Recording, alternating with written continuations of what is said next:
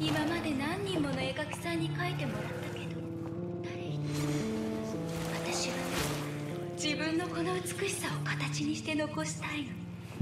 永遠のものにしたいのよ。あいつを四つ筋の美少年を捕まえるまではやめるわけにはいかないんだ。